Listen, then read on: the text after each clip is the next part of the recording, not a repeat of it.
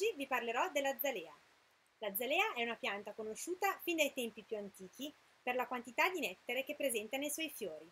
Sono originari di diversi paesi, dall'Europa all'Asia alle Americhe. Quella di cui vi parlerò oggi, la zalea rifiorente, è originaria dell'America, più precisamente degli Stati Uniti. È sul mercato statunitense da oltre 15 anni, per cui ne è già stata sperimentata la rusticità e l'adattabilità a diversi tipi di terreni e in diverse situazioni.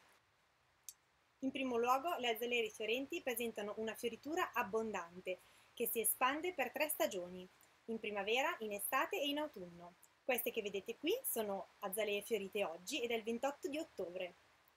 Esistono numerose varietà di azalee rifiorenti tra cui scegliere, noi ne abbiamo circa 10 varietà. Si differenziano per la dimensione e il colore dei loro fiori. Coltivare l'azalea rifiorente è semplice come coltivare un'altra azalea da giardino. Vuole ovviamente il terriccio acido e richiede di pochissima manutenzione. Non ama il caldo eccessivo e bisogna aver cura di tenere sempre bagnato il terreno, soprattutto nelle stagioni più calde. Può essere coltivata in piena terra oppure in vaso. Non raggiunge dimensioni molto ampie, arriva circa 1,10 m di altezza e può rimanere in un vaso di 50 cm di diametro al massimo.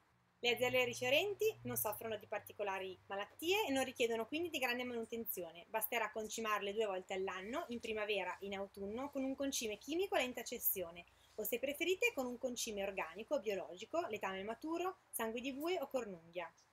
Ricordatevi di bagnare le vostre azalee anche durante la stagione fredda, almeno una volta al mese, soprattutto se le piogge si fanno desiderare.